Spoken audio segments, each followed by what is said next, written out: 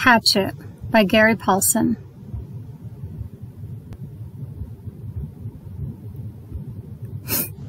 Chapter 1 Brian Robeson stared out the window of the small plane at the endless green northern wilderness below. It was a small plane, a Cessna 406, a bush plane, and the engine was so loud, so roaring and consuming and loud that it ruined any chance for conversation. Not that he had much to say. He was 13 and the only passenger on the plane was a pilot named, uh, what was it, Jim or Jake or something, who was in his mid 40s and who had been silent as he worked to prepare for takeoff. In fact, since Brian had come to the small airport in Hampton, New York to meet the plane, driven by his mother, the pilot had only spoken five words to him. Get in the co-pilot's seat, which Brian had done. They had taken off and that was the last of the conversation. There had been the initial excitement, of course. He had never flown in a single engine plane before, and to be sitting in the co pilot's seat with all the controls right there in front of him, all the instruments in his face, as the plane clawed for altitude, jerking and sliding on the wind currents as the pilot took off, had been interesting and exciting. But in five minutes, they had leveled off at 6,000 feet and headed northwest, and from then on the pilot had been silent, staring out the front, and the drone of the engine had been all that was left. The drone and the sea of green trees that lay before the plane's nose and flowed to the horizon, spread with lakes, swamps, and wandering streams and rivers. Now Brian sat looking out the window with the roar thundering through his ears and tried to catalog what had led up to his taking this flight. The thinking started. Always it started with a single word, divorce. It was an ugly word, he thought. A tearing, ugly word that meant fights and yelling, lawyers. God, he thought, how he hated lawyers who sat with their comfortable smiles and tried to explain to him in legal terms how all that he lived in was coming apart and the breaking and shattering of all the solid things his home, his life, all the solid things, divorce a breaking word, an ugly breaking word. Divorce, secrets. No, not so, not secrets so much as the secret. What he knew and had not told anybody. What he knew about his mother that had caused the divorce. What he knew, what he knew, the secret. Divorce, the secret. Brian felt his eyes beginning to burn and knew there would be tears. He'd cried for a time, but that was gone now. He didn't cry now. Instead, his eyes burned and tears came, the seeping tears that burned, but he didn't cry. He wiped his eyes with a finger and looked at the pilot out of the corner of his eye to make sure he hadn't noticed the burning in the tears. The pilot sat large, his hands lightly on the wheel, feet on the rudder pedals. He seemed more of a machine than a man, an extension of the plane. On the dashboard in front of him, Brian saw the dials, switches, meters, knobs, levers, cranks, lights, handles that were wiggling and flickering, all indicating nothing that he understood. And the pilot seemed the same way, part of the plane, not human. When he saw Brian look at him, the pilot seemed to open up a bit, and he smiled. Ever fly in a co-pilot seat before? He leaned over and lifted the headset off his right ear and put it on his temple, yelling to overcome the sound of the engine. Brian shook his head. He had never been in any kind of plane, never seen the cockpit of a plane except in films or televisions. It, would it was loud and confusing. First time. It's not as complicated as it looks. Good plane like this almost flies itself. The pilot shrugged. Makes my job easy. He took Brian's left arm. Here, put your hands on the controls, your feet in the rudder pedals, and I'll show you what I mean. Brian shook his head. I'd better not. Sure, try it. Brian reached out and took the wheel in a grip so tight his knuckles were white. He pushed his feet down on the pedals. The plane slewed suddenly to the right. Not so hard. Take her light. Take her light. Brian eased off, relaxing his grip. The burning in his eyes was forgotten momentarily as the vibration of the plane came through the wheel and the pedals. It seemed almost alive. See? The pilot let go of his wheel, raised his hands in the air, and took his feet off the pedals to show Brian he was actually flying the plane alone. Simple. Now turn the wheel a little to the right and push on the right rudder pedal a small amount. Brian turned the wheel slightly and the plane immediately banked to the right. And when he pressed on the right rudder pedal, the nose slid across the horizon to the right. He left off on the pressure and straightened the wheel, and the plane righted itself. Now you can turn. Bring her back to the left a little. Brian turned the wheel left, pushed on the left pedal, and the plane came back around. It's easy, he smiled, at least this part. The pilot nodded. All of flying is easy, just takes learning like everything else, like everything else. He took the controls back, then reached up and rubbed his left shoulder. Aches and pains, must be getting old. Brian let go of the controls and moved his feet away from the pedals as the pilot put his hands on the wheel. Thank you. But the pilot had put his headset back on, and the gratitude was lost in the engine noise, and things went back to Brian looking out the window at the ocean of trees and lakes. The burning eyes did not come back, but memories did, and came flooding in. The words, always the words. Divorce, the secret, fights, split, the big split. Brian's father did not understand as Brian did, knew only that Brian's mother wanted to break the marriage apart. The split had come and then the divorce, all so fast, and the court had left him with his mother except for the summers and what the judge called visitation rights. So formal. Brian hated judges as he hated lawyers.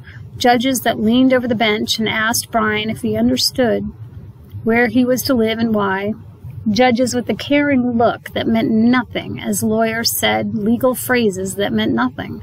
In the summer, Brian would live with his father, in the school year with his mother. That's what the judge said after looking at papers on his desk and listening to the lawyers talk. Talk. Words. Now the plane lurched slightly to the right, and Brian looked at the pilot. He was rubbing his shoulder again, and there was the sudden smell of body gas in the plane. Brian turned back to avoid embarrassing the pilot, who was obviously in some discomfort, must have stomach troubles. So this summer, this first summer, when he was allowed to have visitation rights with his father, with the divorce only one month old, Brian was heading north. His father was a mechanical engineer who had designed or invented a new drill bit for oil drilling, a self-cleaning, self-sharpening bit. He was working in the oil fields of Canada, up on the tree line where the tundra started and the forest ended. Brian was riding up from New York with some drilling equipment. It was latched down in the rear of the plane next to the fabric bag the pilot had called a survival pack, which had emergency supplies in case they had to make an emergency landing that had to be specially made in the city, riding in the bush plane with the pilot named Jim or Jake or something who had turned out to be an all right guy, letting him fly and all except for the smell. Now there was a constant odor, and Brian took another look at the pilot, found him rubbing the shoulder and down the arm now, the left arm, letting go more gas and wincing. Probably something he ate, Brian thought. His mother had driven him from the city to meet the plane at Hampton, where it came to pick up the drilling equipment. A drive in silence, a long drive in silence. Two and a half hours of sitting in the car, staring out the window of the plane. Once, after an hour, when they were out of the city, she turned to him. Look, can't we talk this over? Can't we talk this out? Can't you tell me what's bothering you? And there were the words again divorce, split, the secret. How could he tell her what he knew? So he had remained silent, shook his head, and continued to stare unseeing at the countryside and his mother had gone back to driving, only to speak to him one more time when they were close to Hampton. She reached over the back of the seat and brought up a paper sack. I got you something for the trip. Brian took the sack and opened the top. Inside there was a hatchet, the kind with a steel handle and a rubber hand grip. The head was in a stout leather case that had a brass riveted belt loop. It goes on your belt. His mother spoke now without looking at him. There were some farm trucks on the roads now, and she had to weave through them and watch traffic. The man at the store said you could use it, you know, in the woods with your father. Dad, he thought. Not my father, my dad. Thanks, it's really nice. But the words sounded hollow, even to Brian. Try it on, see how it looks on your belt. And he would normally have said no, would normally have said no, that it looked too hokey to have a hatchet on your belt. Those were the normal things he would say. But her voice was thin, had a sound like something thin that would break if you touched it. And he felt bad for not speaking to her. Knowing what he knew, even with the anger, the hot white hate of his anger at her, he still felt bad for not speaking to her and so to humor her, he loosened his belt and pulled the right side out and put the hatchet on and rethreaded the belt. Scooch around so I can see. He moved around in the seat, feeling only slightly ridiculous. She nodded, just like a scout, my little scout, and there was the tenderness in her voice that she had when he was small, the tenderness that she had when he was small and sick with a cold, and she put her hand on his forehead, and the burning came into his eyes again, and he had turned away from her and looked out the window, forgotten the hatchet on his belt, and so arrived at the plane with the hatchet still on his belt. Because it was a bush flight from a small airport, there had been no security, and the plane had been waiting with the engine running when he arrived, and he had grabbed his suitcase and pack bag and run for the plane without stopping to remove the hatchet so it was still on his belt. And at first he had been embarrassed, but the pilot had said nothing about it, and Brian forgot it as he took off and they began flying. More smell now. Bad. Brian turned again to glance at the pilot, who had both hands on his stomach and was grimacing in pain, reaching for the left shoulder again as Brian watched. Don't know, kid. The pilot's words were a hiss, barely audible. Bad aches here. Bad aches. Thought it was something I ate, but he stopped as a fresh spasm of pain hit him. Even Brian could see how bad it was. The pain drove the pilot back into the seat, back and down. I've never had anything like this. The pilot reached for the switch on his mic cord, his hand coming up in a small arc from his stomach, and he flipped the switch and said, This is Flight 46 and now a jolt took him like a hammer blow, so forcefully that he seemed to crush back into the seat. And Brian reached for him, could not understand at first what it was, could not know. And then he knew. Brian knew. The pilot's mouth went rigid. He swore and jerked a short series of slams into the seat, holding his shoulder now. Swore and hissed, Chest! Oh God, my chest is coming apart! Brian knew now. The pilot was having a heart attack. Brian had been in the shopping mall with his mother when a man in front of Paisley's store had suffered a heart attack. He had gone down and screamed about his chest. An old man, much older than the pilot. Brian knew. The pilot was having a heart attack, and even as the knowledge came to Brian, he saw the pilot slam into the seat one more time. One more awful time, he slammed back into the seat and his right leg jerked, pulling the plane to the side in a sudden twist, and his head fell forward and spit came. Spit came from the corners of his mouth, and his legs contracted up, up into the seat, and his eyes rolled back in his head until there was only white. Only white for his eyes, and the smell became worse, filled the cockpit. And all of it's so fast, so incredibly fast that Brian's mind could not take it in at first, could only see it in stages. The pilot had been talking just a moment ago,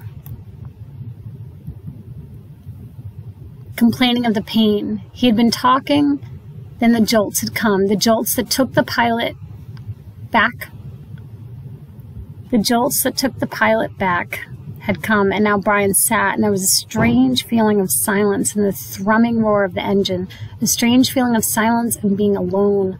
Brian was stopped.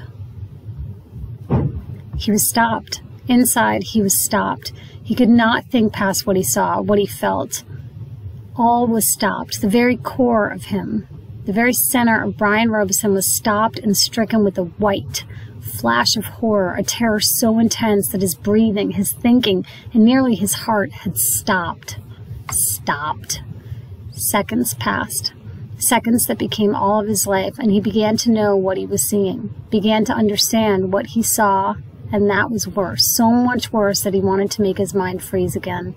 He was sitting in a bush plane, roaring 7,000 feet above the northern wilderness, with a pilot who had suffered a massive heart attack and who was either dead or in something close to a coma. He was alone. In the Warren plane with no pilot, he was alone. Alone.